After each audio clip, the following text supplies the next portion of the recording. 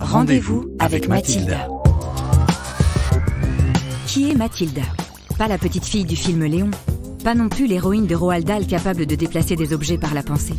Mathilda est née dans les années 90 sous la plume de Margaret Rossiter. Cette sociologue a baptisé Effet Mathilda l'occultation du rôle des femmes dans la science. Mathilda, c'est Rosalind Franklin, qui a pris la première photo d'une molécule d'ADN. Mathilda, c'est Grace Hopper, qui a révolutionné l'informatique. Mathilda, ce sont toutes ces femmes de science qui ont des histoires de science à vous raconter. The Meta News lui donne rendez-vous aujourd'hui. Qui que vous soyez, où que vous soyez, bonjour ou bonsoir si la nuit est, est déjà tombée. Je suis Laurent de The Meta News et vous écoutez le deuxième épisode de notre podcast Rendez-vous avec Mathilda. Alors je voudrais commencer par vous remercier, remercier les centaines de personnes qui ont, écouté le premier épisode de notre podcast et, euh, et je voudrais remercier chez Jean qui nous accueille euh, donc pour la deuxième fois dans un studio magnifique dessiné par les élèves de l'école Boulle. Alors vous pourrez le voir sur le, le site de chez Jean, je vous invite à le faire, on n'a pas le- on n'a pas l'image ici, mais le son est magnifique. J'ai donc rendez-vous avec Mathilda. Bonjour Mathilda. Bonjour. Mathilda aujourd'hui est Adèle Combe.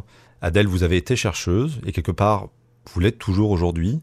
Et vous êtes ici pour nous raconter les histoires qu'on vous a racontées à travers un, un grand projet qui est celui qui s'appelle Vie de thèse. Vie de thèse, c'est un projet qui vous porte maintenant depuis plusieurs mois, depuis mai 2019. Et on va comprendre pourquoi vous vous êtes lancé dans ce projet déjà. Euh, j'ai noté, le- j'ai noté le titre de votre thèse. Alors je vais, je vais essayer de le lire sans me, sans me tromper. Stimulation du cervelet pour le traitement des dyskinésies par la lévodopa dans la maladie de Parkinson. Est-ce que j'ai bon? C'est ça. Non, c'est bon. Et ça consiste en quoi? Euh, C'était un sujet de thèse qui consistait à étudier donc la maladie de Parkinson euh, et plus particulièrement les effets secondaires des traitements de la maladie de Parkinson. Le traitement le plus commun euh, étant la lévodopa. Lévodopa dans la maladie de Parkinson entraîne des effets secondaires et moi, mon but là était de réduire ces effets secondaires. Comment? En stimulant le cervelet. Alors pas chez les patients humains, mais dans, le cadre de la recherche fondamentale, c'est-à-dire euh, chez la souris. Alors vous allez raconter une histoire qui ne sera pas la vôtre dans- dans peu de temps, mais j'aimerais bien entendre la vôtre d'abord. Pourquoi Parkinson? Ça vient de loin, je crois.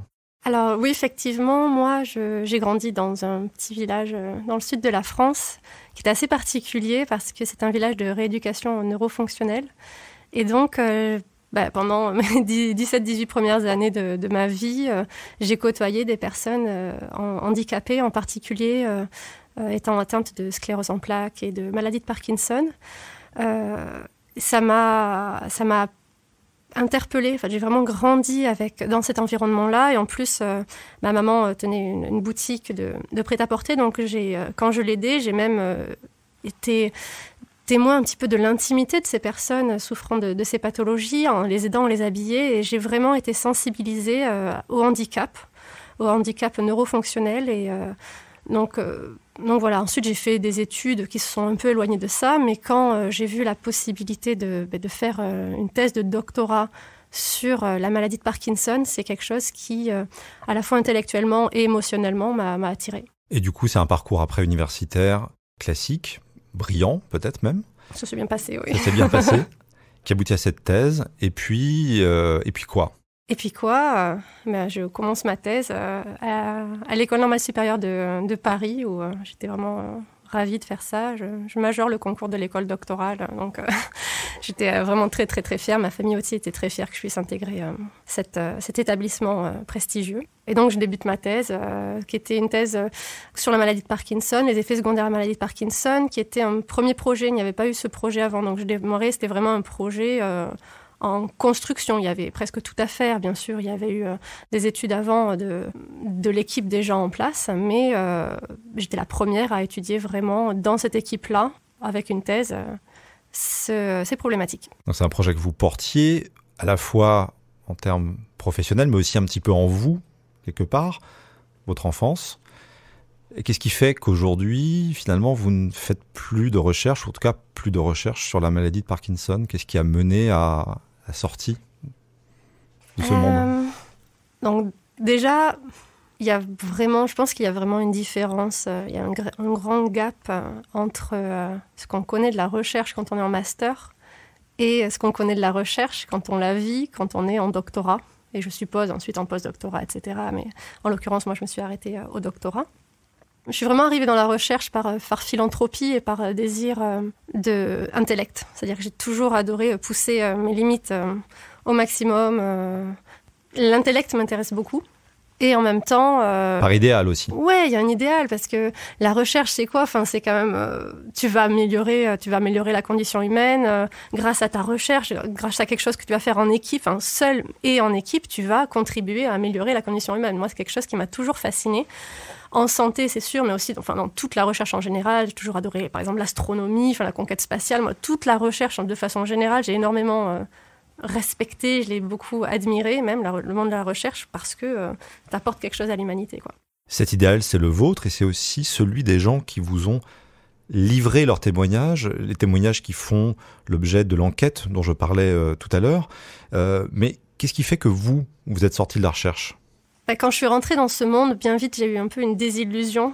Euh, C'était pas forcément ce à quoi je m'attendais le côté philanthrope était un petit peu parti. Euh, enfin, moi, je l'avais, mais effectivement, dans le monde dans lequel je, que je voyais, dont j'étais témoin, la philanthropie n'était pas le, le, nerf de la guerre, on va dire. Le nerf de la guerre, c'était l'argent, c'était des jeux de pouvoir, c'était non, moi ça me représentait pas en tout cas. Ça, fait peut-être un peu fleurbeux ce que je dis, mais euh, pour moi, on, peut, est censé pouvoir dans la recherche allier philanthropie et, euh, intelligence et, euh, et bon, pas vraiment ce que j'ai retrouvé là. Et travail bien sûr. et en plus, voilà, je travaillais beaucoup. C'était pas forcément reconnu, mais bon voilà, je, travaillais pour mon projet et j'étais quand même témoin de, personnes autour de moi, des post-doctorants, premier, deuxième, peut-être troisième post-doc qui avait quoi, 35, 40 ans, et qui était précaire. Et je me disais, mais euh, attends, moi, on m'a pas vendu ça. Enfin, moi, enfin, en tout cas, quand moi, je suis arrivée dans la recherche, euh, on m'a dit, bah, tu veux être chercheur, bah, c'est pas compliqué, tu, fais un doctorat et tu es chercheur. C'était presque direct. Alors, bien sûr, il faut, il y a une certaine... Euh, il y a une excellence, bien sûr. Voilà, on peut pas, c'est pas tout le monde qui devient chercheur, mais tu te dis bon, bah, a priori, si tu travailles bien, il n'y a pas de raison. Et en fait, là, tu découvres que non. il y avait un gars, un chercheur, il y avait un chercheur que j'admirais beaucoup parce qu'il était à la fois adorable, super gentil et mais super intelligent. Et ce gars-là était précaire. Je me dis, mais non, mais si ce gars-là est précaire, mais moi, je vais faire quoi de ma vie Précaire à quel âge? Ouais, je sais pas, il avait 36, 36 ou 37, quelque chose comme ça. Et moi, c'était pas, c'est pas quelque chose qui me faisait rêver. Hein, Donc précaire à bac plus 20 quelque part. oui. oui, oui, c'était. Euh, moi, ça m'a pas fait rêver. Donc voilà. Après, je comprends que par passion, on puisse beaucoup donner. Euh, D'ailleurs, moi, je donne beaucoup. Par exemple, là, l'enquête que j'ai faite, je ne suis pas payée pour la faire. Donc, en fait, je suis vraiment capable, quand quelque chose me plaît, de, faire des choses, même euh, sans, financement. Mais, mais quand même, là, cette perspective euh, de rester précaire si longtemps, moi, ça ne m'a pas du tout inspiré. Euh, et du fait aussi que ça, a priori, ça allait pas s'améliorer. Moi, j'ai une phrase de, de mon directeur d'équipe qui m'avait assez marqué à l'époque qui avait dit euh, Moi, de mon temps, euh, la recherche, euh, c'était difficile parce que pour être titularisé, il fallait, fallait faire partie des meilleurs. Mais maintenant, votre monde, il est peut-être peut-être encore plus difficile parce que même les meilleurs ne sont pas assurés d'être titularisés. Et bon, bah, quand on entend ça, tu te dis Bon, bah, je, est-ce que c'est vraiment ce que je veux faire? Est-ce que c'est vraiment ce que je veux faire? Parce que bah, je sais pas, voilà, qui est prêt à sacrifier euh, sa vie, à prendre le risque de d'être précaire jusqu'à 40 ans? Je, sais pas, en fait, c'est un vrai risque, c'est un vrai coup de bluff. Euh, enfin, tu peux être excellent, mais même quand tu vois que les excellents, ils sont pas forcément pris, enfin, c'était pas forcément quelque chose qui, qui m'inspirait. Plus ensuite, euh, l'ambiance qui n'était pas forcément ce que j'attendais aussi tout ça mis bout à bout a fait que je me suis dit finalement, euh, moi, mon désir de philanthropie euh, et d'amélioration, on va dire, de la condition humaine à mon tout petit niveau, on est bien d'accord, hein, euh, ben, je me suis dit que finalement, c'était peut-être pas là que j'allais que j'allais pouvoir le développer, et c'était peut-être à l'extérieur. La sélection au dernier debout, c'était pas votre, c'était pas votre bah, truc. c'est pas le meilleur, c'est celui qui résiste le plus. Ouais, c'est ça, c'est celui qui résiste le plus. En fait, quand tu vois que tu as des gens qui sont super intelligents, enfin moi j'ai rencontré des gens que j'ai interviewés du coup, hein, qui sont très intelligents, qui ont qui ont leur master avec mention très bien, et qui finalement parce qu'ils n'ont pas, parce parce qu'ils sont peut-être un peu trop gentils, bah qui sont écrasés. Et euh, ça c'est quelque chose. Euh, qui m'a beaucoup déçue. Mais voilà, effectivement, peut-être que j'avais des attentes un petit peu trop, des attentes un peu trop positives vis-à-vis de ça. Encore une fois, je vais pas faire une généralité. Moi, c'est ce dont ce que moi, ce dont moi j'ai été témoin et ce, ce que des témoins m'ont rapporté ensuite dans leurs histoires, bien évidemment. Je sais bien sûr que c'est pas que un monde de requins, euh, mais il n'empêche que euh, c'est c'est pas quelque chose qui, qui m'a donné envie de, de continuer plus, effectivement. Donc il y a la sortie de l'académie, comme on dit, Mhm. c'est-à-dire la sortie du public vers, et pour vous un passage vers, euh, vers, vers le privé, mais cette idée quand même qui trotte dans, dans votre tête toujours qu'il faut parler de choses dont on ne parlait pas jusqu'à jusqu'il y a peu en France finalement, c'est-à-dire du fait que euh, cette situation euh, en thèse euh, de personnes qui cherchent tout en n'étant pas chercheurs, tout en étant chercheurs, tout en, tout en n'étant pas chercheurs, soumis à des injonctions parfois contradictoires, bah, ça constitue un véritable problème. C'était quoi le déclic pour commencer à, enquêter sur le sujet et finalement faire un travail qui se rapproche d'un travail de sociologue? Euh, alors moi le déclic, le déclic je dirais, alors la première idée, pendant que j'étais en thèse, bon je, voyais bien, j'étais pas aveugle, je voyais bien qu'il y avait des choses qui étaient anormales, mais on est dans un monde, enfin on est dans ce monde-là, on est dans une bulle, donc en fait on, on se pose des questions, mais en même temps on se dit bon bah c'est normal, euh, tout le monde est un peu comme ça. Et c'est qu'à partir du moment où on en sort, en l'occurrence moi quand je suis partie, j'ai été euh, recrutée comme chef de projet scientifique dans une, agence de communication médicale qui recrutait au niveau euh, du post-doctorat ou du doctorat. Et dans ce milieu-là, j'ai rencontré plein de docteurs, docteurs, euh, qui avaient aussi quitté le monde de l'académie. La première fois où je suis arrivée dans cette société, j'ai été recrutée, ça s'est très très bien passé. Euh, et je, discute avec une fille, je dis Ah, salut, bon, bah, toi aussi, tu as fait un doctorat, comment ça s'est passé Euh, Et là, je pose cette question, et là, la fille commence à avoir euh, les larmes aux yeux. Juste, en posant, en, lui posant cette question. Et là, je me suis dit Waouh, qu'est- qu'est-ce que. C'est grave, en fait. Si juste je lui pose de la question comment ça s'est passé et qu'elle a les larmes aux yeux, c'est grave. Donc voilà, je me suis dit Tiens, c'est bizarre.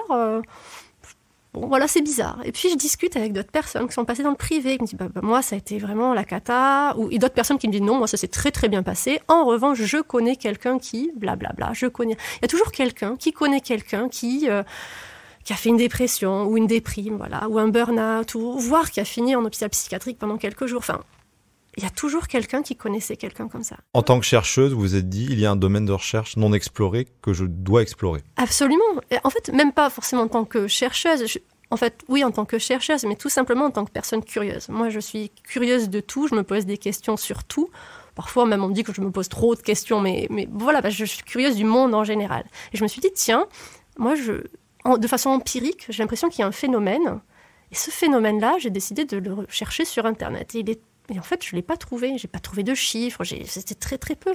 La seule chose que j'ai trouvée, les deux seules choses que j'ai trouvées, c'est euh, l'enquête du monde. euh, Enfin, le, la publication, un article du Monde euh, intitulé quand, la relation de quand la relation avec son directeur de thèse vire au cauchemar. Voilà, ça, j'ai trouvé ça. Euh, qui était en abonné en plus, donc il ne pouvait pas forcément tout lire. Mais... Et ensuite, euh, une enquête de, de Doctopus, euh, une association Doctopus, qui est une association de, de docteurs en psychologie de Nantes, sur la santé mentale des doctorants, les discriminations, etc. etc. Et c'était à peu près tout, quoi. Alors, il y a peut-être des choses un peu moins connues qui existaient, mais vraiment, il n'y avait pas grand-chose qui sortait. Et donc là, je me suis dit, il y, a, il y a quelque chose à faire, il y a quelque chose à creuser. Donc vous vous lancez dans cette, euh, dans cette étude, donc vite Mm. thèse. Aujourd'hui, c'est 1700, 1900 pardon, répondants au dernier comptage. Une étude clôturée aujourd'hui sur laquelle vous nous livrerez peut-être quelques chiffres tout à l'heure. Mais ce qu'il y a d'intéressant, au-delà des chiffres, c'est ce qu'on appelle le qualitatif, c'est-à-dire les témoignages que vous avez reçus. Des gens que vous avez sollicités ou qui sont venus à vous et qui vous ont livré leurs histoires. De manière anonyme, j'imagine, Oui, tout à fait.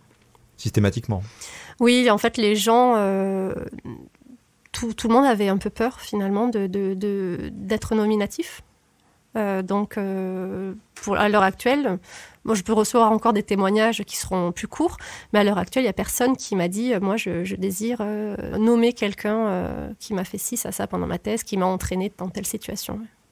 Il y a de nombreuses situations, de nombreuses, euh, des cas qui sont uniques, des cas qui sont euh, euh, reproduits d'un labo à l'autre, peu importe. On en a choisi un, vous en avez choisi un, on va l'appeler Mathilda, pour respecter son anonymat. Racontez-nous l'histoire de Mathilda, de cette autre Mathilda. qui se trouve être une étudiante en thèse aussi. Alors, Juste si je fais une petite explication de, comment je suis arrivée là, l'idée c'était à la base de juste écrire un, livre sur les témoignages, sur les récits de personnes que moi je vais rencontrer en France. Donc je prenais le train, j'allais rencontrer un peu partout, ou par téléphone, ou par, euh, ou par Internet, etc. Euh, et donc sur les réseaux sociaux, tout simplement, ce que j'ai fait, c'est que j'ai cherché, parce qu'en fait, euh, sur les réseaux sociaux, quand euh, on prend la peine de lire réellement les textes, en fait, on voit qu'il y a une souffrance. Elle est un peu partout. Alors, il y a plein de gens qui font l'humour dessus, mais en fait, euh, si on lit entre les lignes, et c'est pas très compliqué de lire entre les lignes, on voit qu'il y a des gens qui sont en grande souffrance. Et donc moi, tout simplement, euh, j'ai fait euh, une petite enquête. Suis dit, bah, telle personne a fait tel commentaire euh, sous tel article. Je la contacte en disant, salut, bonjour. voilà, j'ai l'impression que tu as subi telle, telle, chose, telle chose. bon, si c'est pas le cas, je m'en excuse. Mais si c'est le cas, est-ce que tu veux en parler? Moi, je fais un livre là-dessus. Je raconte des histoires, etc. Et donc cette personne me répond en disant oui, tout à fait, j'ai vécu des, des, choses traumatisantes pendant mon doctorat, je veux mieux en parler. Euh, C'était assez simple en fait de, récolter des témoignages. C'est ce que vous dites. Oui, en fait, paradoxe de tout ça. C'est très paradoxal et ça m'a ça m'a beaucoup surpris.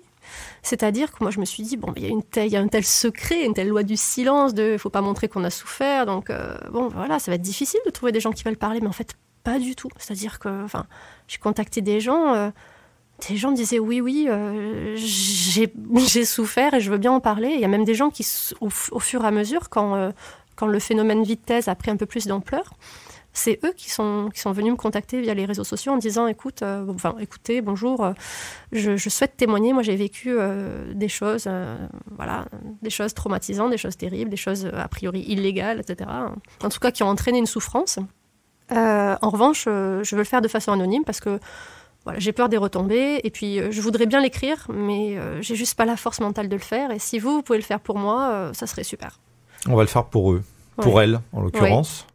Euh, Mathilda, donc c'est une étudiante euh, en thèse, une étudiante brillante, une étudiante venue d'un milieu défavorisé, en tout cas qui n'était pas forcément euh, destinée à faire de grandes études, et qui pourtant les fait à force de persuasion, à force aussi d'intelligence. Qu'est-ce qui lui est arrivé? Eh bien, cette Mathilda, donc, elle arrive euh, en master. Euh, en master, elle décide de faire des études de genre, parce qu'elle est très axée sur le féminisme. Elle n'est pas militante féminisme, mais voilà, c'est une cause qui lui tient vraiment à cœur. Donc, elle fait des études de genre euh, durant son master. Ça se passe très bien, à tel point qu'elle ben, obtient son master avec la mention très bien, justement, et les félicitations du jury. Et donc, elle enchaîne en thèse en thèse. Il se trouve que euh, son, encadrante, son encadrante de stage n'a pas l'habilitation à diriger des recherches. La fameuse HDR, donc ça, veut dire je, que la personne en question qui possède l'HDR peut diriger une thèse, corriger, relancer, etc. Absolument. Et donc, sa directrice de stage avec qui tout se passait très très très bien, n'a pas cette habilitation, donc il doit y avoir un co-directeur de thèse. Et en l'occurrence, donc ils choisissent pour elle un co-directeur de thèse qui est une personne qu'elle connaît un petit peu. Euh, voilà, elle a un petit peu des, doutes. C'est une de réputation. Il y a une réputation, mais qu'elle a déjà vu également en séminaire. Elle sait qu'elle a, elle a été témoin que c'est un homme qui est bon, intelligent certes, mais difficile, qui, qui ne supporte pas forcément euh, qu'on le reprenne, qui ne supporte pas qu'on aille pas qu'on aille dans son sens et qui fait généralement des blagues misogynes, euh, ce qui est un petit peu paradoxal pour une personne qui fait des études de genre en fait. bon, c'est le cas. Donc voilà, mais elle commence sa thèse. Elle commence sa thèse, euh, sachant qu'elle n'a pas de bureau dans le laboratoire. Donc c'est une thèse sur le genre, donc une, thèse de sciences humaines et, sociales. Et comme beaucoup de thèses dans ce, dans ce, sur ces thématiques-là, bah souvent c'est solitaire parce que ça se fait à la maison. Il n'y a pas d'endroit dans le laboratoire. Ni d'endroit, ni de salaire lié. Alors oui, en l'occurrence, là, alors ça peut arriver qu'il y ait un salaire, mais en l'occurrence, elle n'a pas de salaire, elle n'a pas de financement, elle passe un an à chercher un financement. Euh, sans avoir l'aide d'ailleurs de son, de son directeur. Hein. Il ne, l'aide pas du tout pour trouver un financement. Donc elle est obligée de prendre un, travail euh, le soir, le soir à côté, car il, refuse aussi de l'aider à obtenir un poste d'ATER qui pourrait l'aider à avoir un financement, mais non. Donc finalement, elle travaille et les six premiers mois de sa thèse, eh bien, euh, ça se fait bah, de chez elle. Elle a très peu de contact avec son directeur. Et pendant six mois, tout ce qu'elle lui envoie, tous les textes qu'elle lui envoie, les seuls retours qu'elle a, c'est euh, non, ça va pas, non, c'est nul, non, ça suffit pas. En fait, ce sont que des critiques non constructives.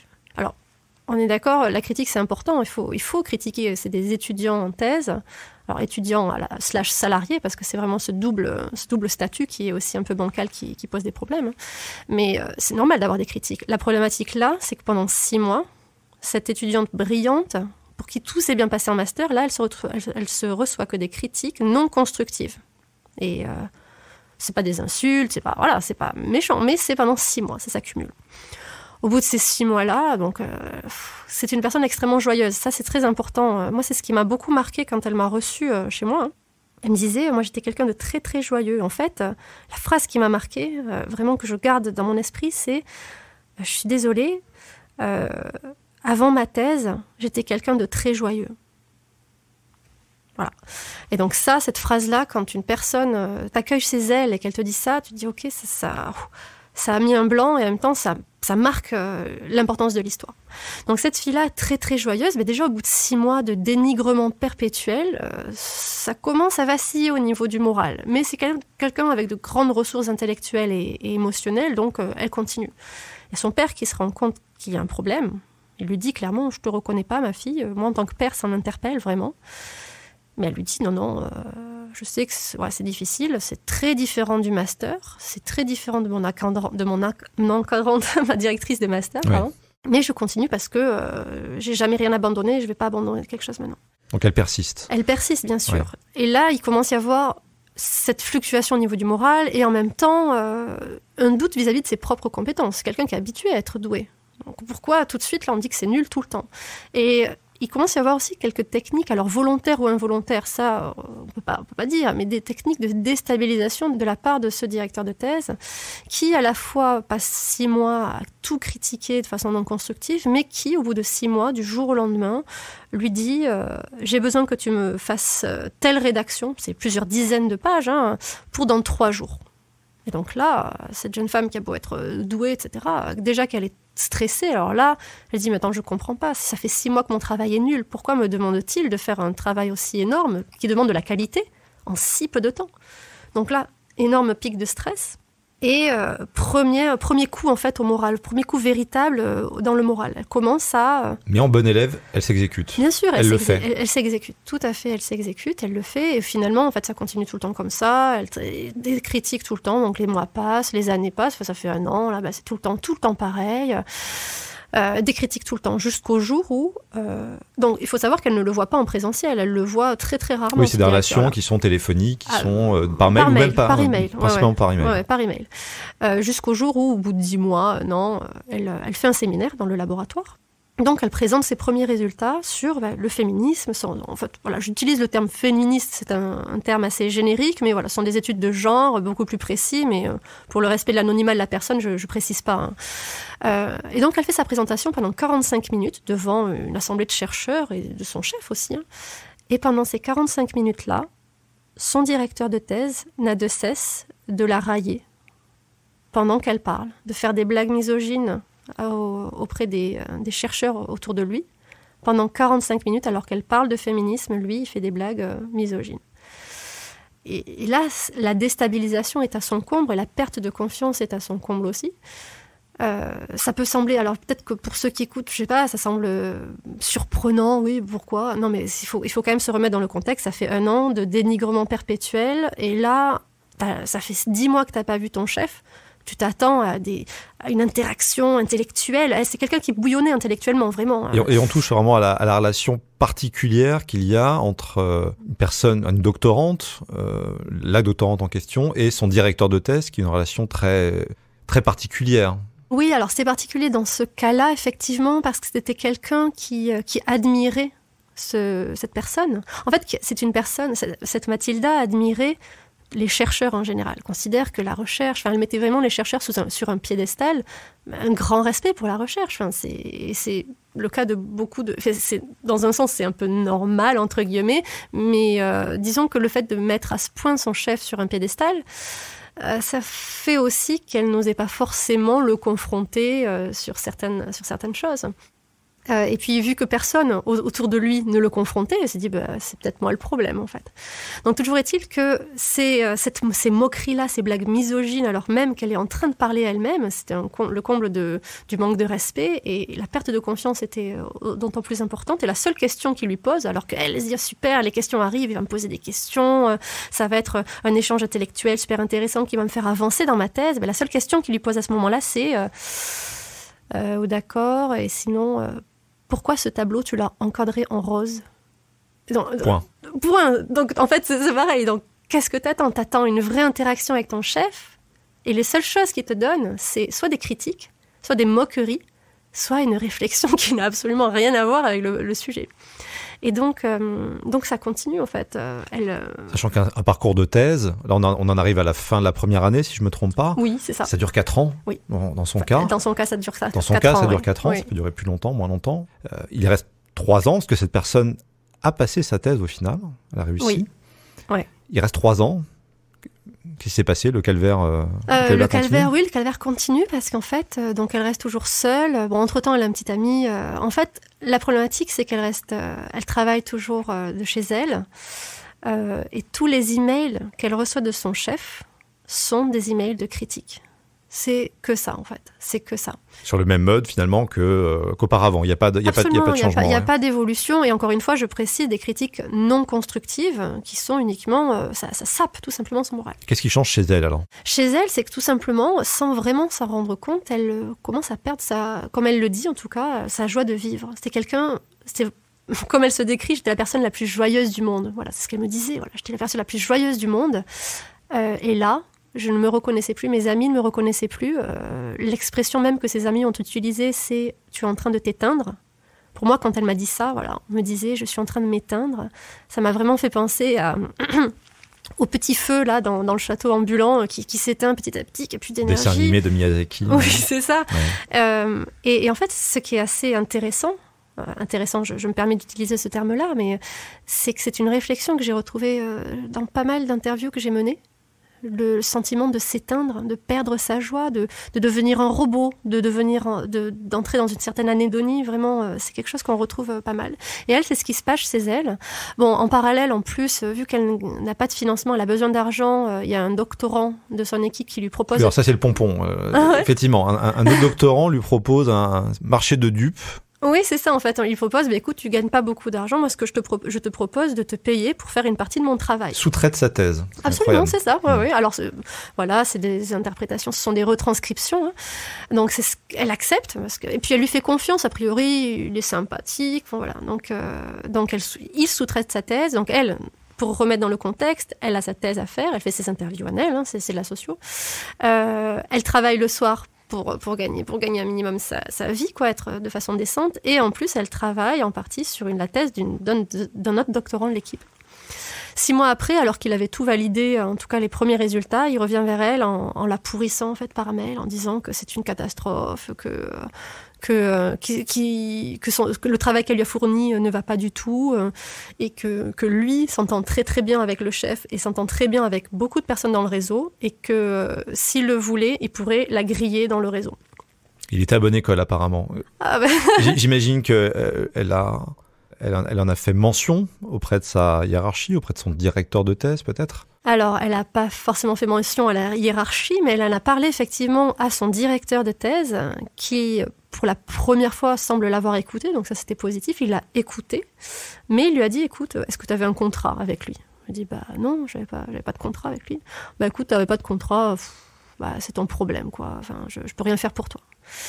Et donc là, euh, donc elle se retrouve dans une situation où oui, enfin c'est pas parce que tu n'as pas de contrat que ton directeur de thèse ne peut pas ne peut pas intervenir dans cette dans ce dans cette situation-là. Et donc pour elle, ce qu'elle a vraiment ressenti, c'est euh, qu'est-ce qui fait une bonne thèse? Est-ce que pour en fait pour faire une bonne thèse quoi, il faut juste écraser les autres? Enfin, elle, elle a rien sous-traité à sa thèse. Elle fait tout, elle mène tout de front et elle est écrasée alors que, cet autre doctorant là, il sous-traite une une partie de sa thèse, pas toute sa thèse bien sûr, mais une partie de sa thèse, et il est placé sur un piédestal par son chef. Donc vraiment, elle s'est sentie abandonnée, euh, ses critiques, à tel point ensuite, à force de recevoir toujours des mails, parce que ça n'a pas changé, les mails de critiques ont, continué, n'ont pas cessé, Elle en parlait un petit peu à sa co-directrice, mais qui entre-temps avait déménagé, donc elle était assez, loin, et finalement, bon, euh, peut-être qu'elle ne se rendait pas forcément compte de la situation non plus. Et euh, à tel point qu'en fait, elle, a développé une phobie de l'email, c'est-à-dire qu'elle n'arrivait tout simplement plus à ouvrir ses emails, ouvrir sa messagerie, et elle demandait à son copain euh, d'ouvrir ses emails pour elle. Elle ne pouvait plus le faire, c'était c'était pathologique en fait. Et ça, ça ne s'arrête pas. En fait, c'est une vraie descente C'est un long glissement, ouais, c'est un long glissement vers, vers, vers C'est un long glissement vers euh, une situation où elle arrive au, point de, Un matin, en fait, elle n'arrive pas à se lever. C'est, elle dit, voilà, je suis elle utilise le terme, je suis un scaphandrier, je suis une enclume, je, je ne peux plus me lever de mon lit, je ne, je ne peux plus ouvrir mon ordinateur, je passe des journées entières les volets baissés dans le noir plusieurs euh, jours durant, je peux rien faire. et, euh, et les mails, le problème c'est que les mails s'accumulent, les emails s'accumulent. Elle a beau beaucoup travailler, elle arrive à travailler, mais les emails s'accumulent jusqu'au voilà, il y, a une bascule où elle reçoit l'email de, de trop, de critiques de trop, d'injonctions avec un délai très très court de trop quoi. Et là, euh, ben là, c'était la partie de l'interview euh, plus difficile hein, qui, a demandé euh, voilà, du temps pour cette personne de me parler. Et si elle m'entend, je, la remercie encore pour la, confiance qu'elle m'a accordée pour l'avoir écoutée à ce moment-là. Et euh, tout simplement, à ce moment-là, elle décide de, partir euh, au bord de la Seine. Euh, et, elle envisage de, se jeter dans la Seine. on est début janvier, il fait un froid glacial, c'est c'est l'après-midi, et elle envisage de se jeter dans la Seine. Donc. elle ne l'a pas fait. Elle ne l'a pas fait. Donc oui, je rassure les gens qui écoutent, elle ne l'a pas fait. moi, je considère, enfin, je suis pas la seule, bien sûr, à considérer que d'arriver à un tel point pour un, c'est très très grave. C'est très très très grave d'en arriver à tel point, surtout pour une personne qui, encore une fois, était la personne la plus joyeuse du monde. Euh, alors, bien sûr, moi j'ai une petite analyse. Effectivement, les gens qui écoutent, qui, n'ont pas vécu ça, qui sont disent ah, ça va, d'où, enfin, pourquoi t'arrives à, à, cette envie de te jeter dans la scène pour un travail? Pourquoi tu, c'est juste un travail? Oui, c'est juste un travail, effectivement. Mais quand tu es en thèse, et moi, ce sont des gens que j'ai rencontrés, j'ai vraiment vu ça. Quand tu es dans la, en thèse, tu as, deux problématiques. Le fait d'être en thèse, la problématique d'avoir. Elle avait une. Euh, comment dire une, une, chape psychologique sur elle. C'est-à-dire que sans s'en rendre compte, elle s'est fait enfermer dans un, dans un jeu de pouvoir où elle était en soumission psychologique. Donc il y a ça. Ensuite, quand tu es dans ta thèse, tu travailles tellement. Il n'y a que ça qui est important. Il n'y a que ça qui compte dans ta vie. Et donc, finalement, il y a un glissement de valeur. C'est-à-dire que si ta thèse est mauvaise, ça veut dire c'est pas, pas vrai, mais en tout cas, tu es tellement enfermé dans ta thèse que c'est ce que tu ressens. Euh, si ta thèse est mauvaise, c'est toi qui es mauvais. Si ta thèse est nulle, c'est toi qui es nul. Finalement, ta thèse elle sert à rien, ben, c'est toi qui sert à rien. Et si tu sers à rien, ben, ça sert à quoi de continuer? Et donc, c'est faux, bien évidemment. On est d'accord quand on sort, quand ces gens-là me parlent, disent j'en suis sorti je, je, ne me reconnais pas d'avoir pensé ça. Mais à ce moment-là, tu penses ça. Et aujourd'hui, Mathilda, L'autre Mathilda, pas vous, l'autre.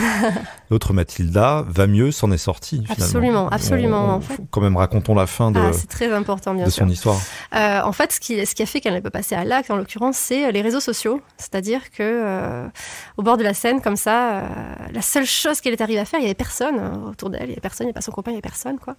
elle a, elle a posté un message un peu de, détresse, pas, pas direct, mais voilà, sur les réseaux sociaux, dans le spécialisée dans le doctorat, euh, genre ciel mon doctorat ou quelque chose, quelque chose du genre, euh, en disant voilà, ça va pas, etc. Et euh, elle a reçu des, ben, des commentaires d'illustres inconnus qui disaient mais non, ça va aller, oui, c'est difficile. Et puis d'autres qui disaient oui, moi je suis passé par là, t'inquiète pas, ça va aller. Et en fait, ces, messages de soutien de, ces inconnus, c'est juste ces petits likes, ces petits cœurs de, de, personnes qu'elle ne connaît pas, ben ça, en fait, ça l'a reboosté.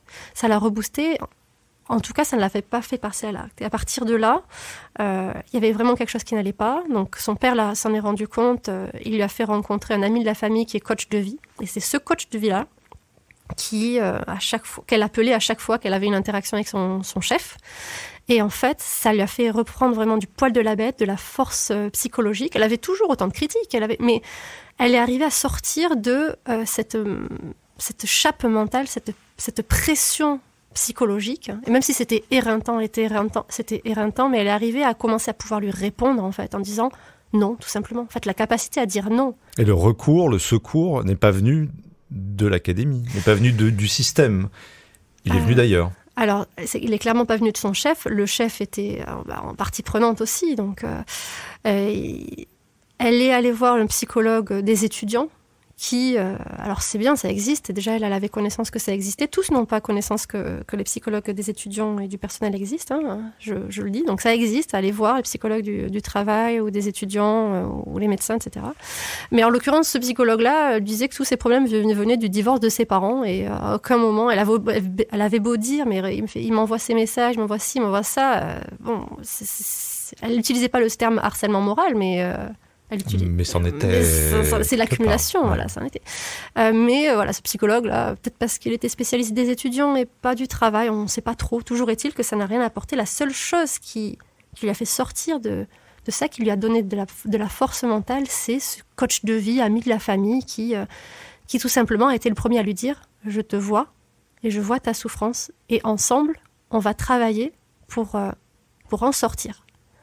Et elle a travaillé pour en sortir. Elle est arrivée, euh, tant bien que mal, elle a soutenu sa thèse, elle a obtenu sa thèse, elle est docteur.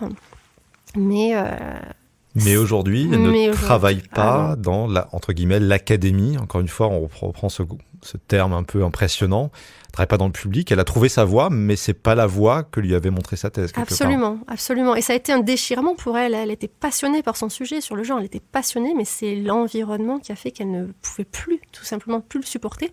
Alors, toujours un rêve de éventuellement pouvoir reprendre un jour, mais dans un autre environnement, parce qu'elle sait très bien, elle a des preuves. C'est pas tout partout pareil. Hein. Là, c'était cet environnement qui était néfaste. Elle a eu besoin de temps pour se reconstruire et qui sait, peut-être que dans quelques années, elle réessayera. On, on verra. Mais en l'occurrence, ce qui s'est passé, c'est qu'elle est allée voir euh, Pôle emploi. Et elle est tombée sur une conseillère de Pôle emploi absolument, selon ses dires, absolument formidable, qui en cinq minutes a cerné tout son trouble, là où en quatre ans, personne de ses collègues ou de son chef ne, l'avait fait. En cinq minutes, elle lui a fait, elle a donné des conseils, puis elle l'a suivi. Ça a été une véritable personne ressource. Elle lui a proposé un, bilan de compétences. Et la réflexion qu'elle m'a faite justement un peu vers la fin de notre interview m'a assez amusée. Elle m'a dit mais plus jamais de ma vie je, critiquerai Pôle Emploi. C'est des gens absolument, c'est eux qui m'ont vraiment aidé. Donc elle a fait un bilan de compétences. Peu de temps après, elle a été recrutée. Donc oui, c'était pas la recherche, c'est autre chose, mais c'est un CDI. Et pour rien au monde, elle ne changerait de métier. Elle est parfaitement épanouie maintenant. Parfait. On va terminer en analysant un petit peu ce qui s'est, déroulé euh, dans, cet exemple et puis dans, d'autres finalement, puisque là, la dizaine ou les dizaines de témoignages qu'on, vous a rapportés, les chiffres que vous en avez, euh, que vous en avez tirés sont souvent concordants, c'est-à-dire qu'on se retrouve avec des situations, quelles que soient les disciplines, quelles que soient les personnes, qui se reproduisent. Est-ce que le système finalement ne favorise pas ce genre de dérive? Alors, moi, j'ai clôturé l'enquête, euh, l'enquête euh, quantitative euh, il y a très peu de temps, donc je n'ai pas encore dépouillé vraiment les résultats. En revanche, je peux voir certaines tendances d'un premier coup d'œil. et effectivement, ce qui est assez surprenant, c'est qu'il n'y a pas de meilleurs élèves, de, de, de vilains petits canards dans les spécialités. il semble que oui, ici, il y, a quand même des différences. On va dire que la biologie santé semble un petit peu plus sujette euh, à des difficultés d'ordre relationnel, euh, et l'informatique semble un peu moins sujette à des difficultés euh, de harcèlement, tout ça a priori. Mais c'est vraiment dans un mouchoir de poche. Donc effectivement, ça semble généralisé. C'est minoritaire, c'est ça qui est important quand même à dire. En tout cas, dans moi, dans mes réponses que j'ai obtenues sur presque 1900, 1900 répondants. Euh, les personnes qui, euh, à la question, euh, selon la définition de l'INRS, etc., etc., sur le harcèlement moral, considérez-vous avoir été victime de harcèlement moral? J'ai 70% qui répondent de non. J'ai quand même 20% qui répondent de oui et 10 à peu près qui répondent qu'ils ne savent pas. Hmm. Ça fait quand même 20% qui répondent de oui. moi, j'ai été extrêmement surprise de ce chiffre. Il y a beaucoup d'analyses ensuite derrière à faire, donc je ne m'avance pas plus que ça. un biais de sélection, comme disent les, chercheurs. C'est un, travail de recherche finalement. Les, gens qui vont mal répondent plus que les. le commun des mortels Il y a un travail, il y a, forcément des biais, sont dans toute enquête, il y a forcément des biais. Ensuite, moi, ce sont des biais que j'ai euh, réduits au maximum, c'est-à-dire que j'étais déjà dans la façon dont j'ai communiqué dessus. D'une part, euh, j'ai présenté l'enquête comme étant euh, l'enquête sur la qualité de vie au travail durant le doctorat. J'ai pas parlé dans le titre de harcèlement, etc., etc. Euh, j'ai fait, j'ai pris soin au niveau par exemple des hashtags de faire, enfin de faire des, des hashtags neutres sur recherche, euh, doctorat, etc., etc. Et ensuite au niveau des personnes à qui je les ai, à qui j'ai diffusé l'enquête, euh, j'ai envoyé ça à à des écoles doctorales, à des associations de doctorants, euh, sur les réseaux sociaux en général. Et plus de femmes vous ont répondu que d'hommes. Oui, effectivement. Et ça, il faut encore que j'analyse, euh, que je fasse, euh, voilà, que je réfléchisse à, ce sujet-là. Mais effectivement, dans l'enquête de, de Doctopus, qui s'est faite un an avant, en 2018, une association de Nantes qui était plus axée donc santé mentale, discrimination, surtout liée au genre, etc., aux origines. Eux aussi avaient eu des, plus de femmes qui répondaient. Euh, alors effectivement, bon, on se pose des, questions. Est-ce que parce que les femmes sont plus sujettes à ça, est-ce qu'elles sont plus enclines à répondre? Bon, je, je, là, j'ai pas de réponse à, cette euh, à ce, à ce chiffre-là, mais effectivement, plus de femmes ont répondu.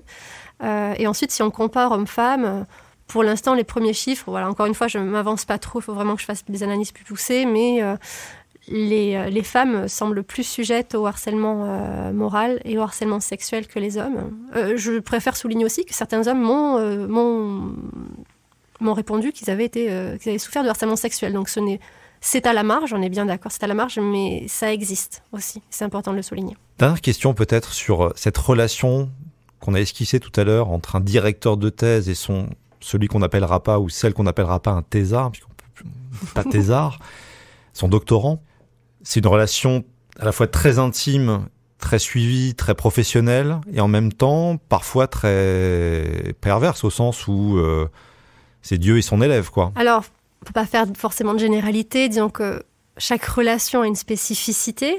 Et euh, il y a des super encadrants de thèse et il y a des très mauvais encadrants de thèse. Mais effectivement, moi, quand je suis allée rencontrer les gens pour, pour le livre des récits que, je vais écrire, euh, il y, a plusieurs, euh, y a plusieurs personnalités qui sont assez ressorties. Euh, l'encadrant de thèse qui, d'une part, dit ben Moi, de mon temps, c'était c'était bien pire parce qu'on n'avait pas de droit, on n'avait pas de salaire, etc. etc. Ah, lui, c'est les euh, oranges à Noël. Oui, c'est ça. Il a eu des oranges à Noël, du coup, tu peux pas des oranges à Noël. C'est ça, tu peux pas te permettre de te plaindre. De toute façon, moi, j'ai des raisons de me plaindre, d'accord, parce que moi, j'ai souffert. Mais toi, toi, as tout ce que tu veux. Déjà, tu devrais être fier, tu devrais être content même que je daigne t'autoriser à faire une thèse avec moi. Donc, il y a vraiment cette personnalité-là. Euh, il y a la personnalité. Euh, c'était. Il y a le prof de sport aussi, le, celui qui, qui dit en gros vous allez en baver comme j'en ai bavé, même si c'est pas forcément de manière euh, c'est ça, il y a une péjorative. Il y a une autre personnalité, alors que je vais un peu scinder en deux, mais effectivement ça, il y a euh, la personnalité, euh, le, directeur ou la directrice qui dit ben moi j'ai souffert pour en arriver là, il n'y a pas de raison que toi tu souffres pas pour en arriver là aussi. Alors ça peut être positif ou négatif, c'est-à-dire qu'il y a une personne qui dit ben moi, j'ai eu besoin de souffrir pour arriver à ce niveau-là. Donc, quelque part, c'est pour toi que je le fais. Je te fais souffrir, oui, mais c'est pour toi. C'est pour que tu arrives à mon niveau. Donc, ça, c'est, oh, c'est un peu, c'est un peu tordu, on est d'accord, mais presque c'est un poil positif, quoi. Même si c'est tordu. Et puis, il y a le côté négatif. Si moi, j'ai souffert pour en arriver là, il y a il bah, n'y a pas de raison que je sois le seul à avoir souffrir pour en arriver là. Donc là, c'est plus l'aspect négatif. Ça reste aussi tordu, hein, on est d'accord, mais l'aspect négatif. Et bien sûr, ensuite, euh, moi, j'ai rencontré des, personnes qui m'ont dit, mais moi, ma thèse, c'est très, très bien passé, ça existe. Et, c'est un peu la, troisième personnalité. Il y en a beaucoup plus, hein, mais bon, je fais des généralités, encore une fois, on peut pas... Euh, qui, euh, qui dit, bah, ça, c'est un, un, encadrant de thèse, un directeur ou une directrice de thèse qui qui a subi ou non certaines choses, pas forcément, mais parfois oui, et qui refuse en fait tout simplement de reproduire certains schémas. Et qui parfois même peut-être manque même de personnalité, donc ça dépend en fait. Mais euh, il y a des, euh, euh, directeurs et des lectrices très, très bienveillants. Et en fait, c'est le, le, mot, en fait, la bienveillance. Tu peux tout à fait être demander une, un niveau intellectuel, un niveau de travail très intense. Ce qui manque finalement dans toutes les personnes que j'ai rencontrées, ce qui a fait que ça, que ça a glissé, c'est le manque de bienveillance et d'humanité.